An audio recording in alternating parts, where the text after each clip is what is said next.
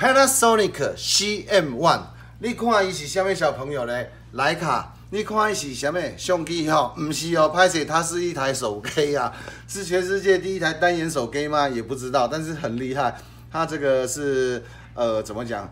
做的一个极像相机的手机，那么这样子用四个用法，但是呃回去会建议你还是把它转正，因为它是太多按键了，回去要克服。很简单，它的里头胶条把它撕下来之后剪掉，躲开这些按键就 OK 了，就 OK 了，好不好？那么可以在这个塑形一下。好，今天主要的讲解是这个东西。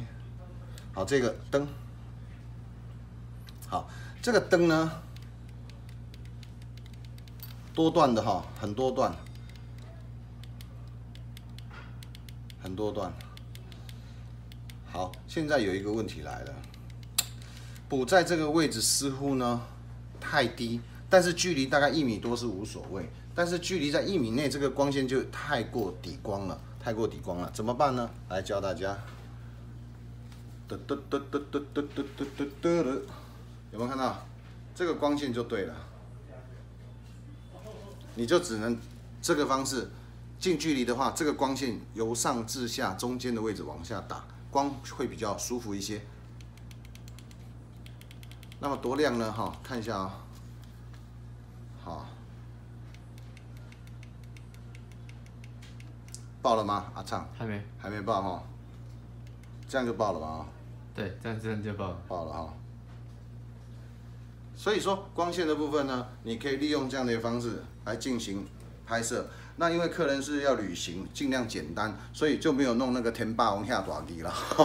你如果说比较麻烦，参考一下今天的介绍。今天的脸书有一个影片呢，是天霸王的架短笛，哈，你要多大笛都可以，啊，比头还大的灯都可以装。那么这个是简约的，哈，客人刚好需要这样的一个简约配置呢，我们就介绍了这一支，好，多段式可调的。厉害的什么呢？补光灯。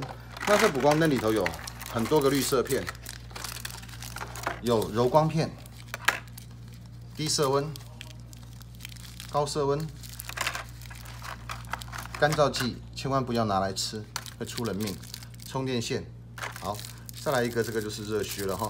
这个给单眼用的，这个有个热靴呢，啊，是给单眼扣着用的。好，那这个怎么用？教你哈，教各位，很简单的哈。当你的手机呢，如果说你不用稳定器的时候，你手机还可以再做另外一个用途，就是说它的手机补光。OK 了，看好，这样子用。好，这样用。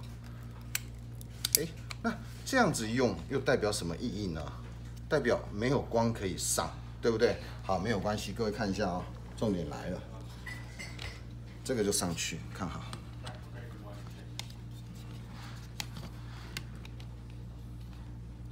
固定，固定。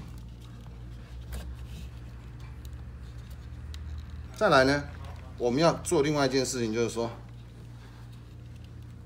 怎么样去使用这样的一个装备？很简单哈，把稳定器的三脚架拿起来，哦，搭配一支三脚架，或者再搭配一个延伸杆。好，那先生，你就这样子就会是另外一个直播平台了哈。这样就可以做另外一件事，手持、补光都可以，脚架展开，站起立，好，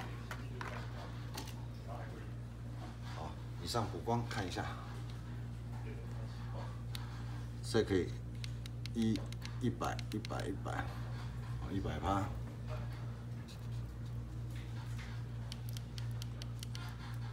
这是充电的电量了哈，充电的电量，好亮度这样看一下，